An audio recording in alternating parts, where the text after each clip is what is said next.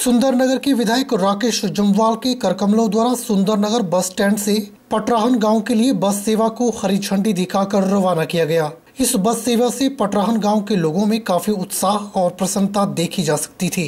काफ़ी संख्या में ग्रामीणों ने बस स्टैंड पहुंचकर विधायक का इस बस सेवा से जोड़ने के लिए आभार व्यक्त किया। इस मौके पर विधायक राकेश जमवाल ने कहा कि माननीय मुख्यमंत्री जयराम ठाकुर की सरकार का हर काम सराहना के लायक है। उन्होंने ग्रामीणों के दर्द को समझा और जहाँ तक भी बस सेवा के ग्रामीणों को ज़रूरी होगी, वहाँ तक बसें लगाई जाएँगी। उन्होंने परिवहन मंत्री गोविंद ठाकुर का इस बस सेवा के लिए आभार व्यक्त किया। हमारी ग्राम पंचायत, कपाही के गाँव की बस की मांग थी और हमारे उस पंचायत के, उस गाँव के वासी बस का इंतज़ार लंबे समय से कर रहे थे। आज उनका ये जो सपन था, वो भी पूरा हुआ।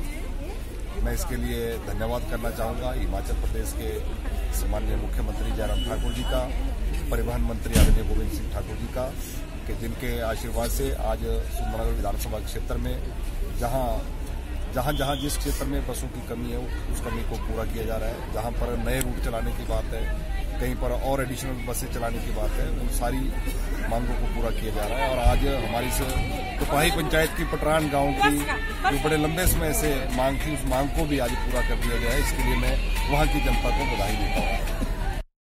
के चैनल के लिए सुंदरनगर से विजय शर्मा की रिपोर्ट।